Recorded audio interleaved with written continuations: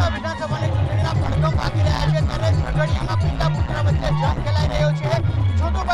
સમર્થનમાં તેમના બે સાથે વાત કરીશું કેવો માહોલ લાગી રહ્યો છે.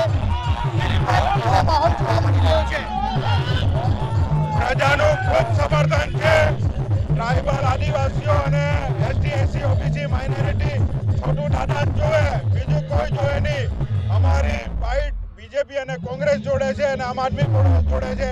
એમને બધાને હરાવીને જ રહીશું અમે લોકો. જય છોટુ દાદા. ભારતીય ટ્રાઇબલ પાર્ટીમાંથી તમારા ભાઈએ ફોર્મ ભર્યું છે ઉમેદવારી નોંધાવી છે આ અંગે શું કહેશો?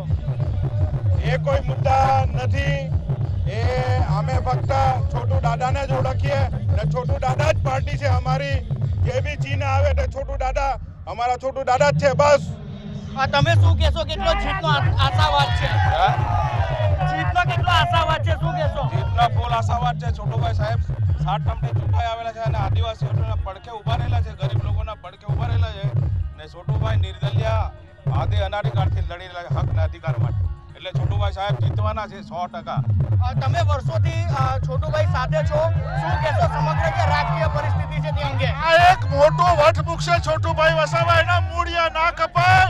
એના ડાળખા એટલા બધા ફેલાયેલા છે કે આ ઝાડ ક્યારે બી ઉખડે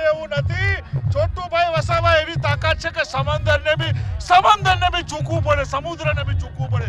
એવી તાકાત છે આ પહાડો, આ જંગલ, એમાં છોટુભાઈનો આત્મા વસે છે. અને જ્યાં છોટુભાઈનો આત્મા છે, એક વહે છે. જ્યાં સુધી છોટુભાઈ જીવે છે અને જ્યાં સુધી છોટુભાઈનું નામ રહેશે ત્યાં સુધી આદિવાસી એરિયાને કોઈ હિલાઈ શકે એવું નથી.